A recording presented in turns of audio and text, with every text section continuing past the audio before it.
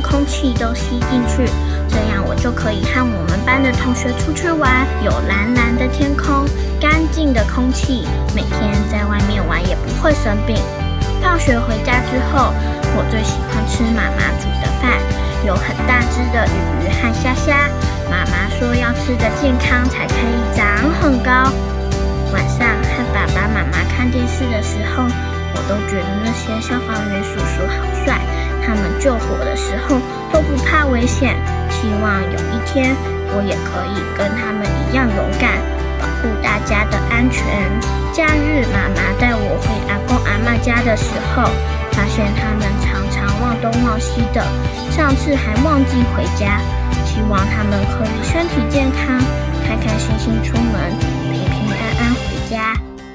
我的爸爸常常出去工作不在家，希望有任意门，这样他就不用在很远的地方上班，有更多时间在家陪我。爸爸跟我说不用任意门，家里就可以用电脑上班，他就有更多时间陪我。我们晚上就可以一起看棒球，就算爸爸出去讲电话，也不怕错过好球。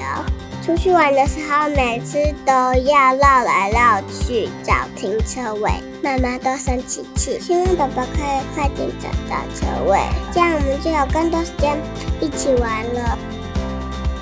我觉得我爸爸是全世界最厉害的人，他什么都会。我的梦想就是跟爸爸一样当超级英雄。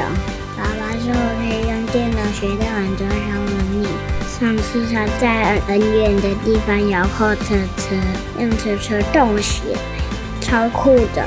我还会让英文老师瞬间移动，这样我就不用去补习班，可以大家跟老师说英文。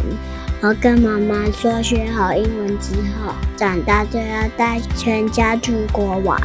但是妈妈跟我说，台湾这有很多漂亮的地方哦。打开手机都可以知道哪里有好吃好玩的东西。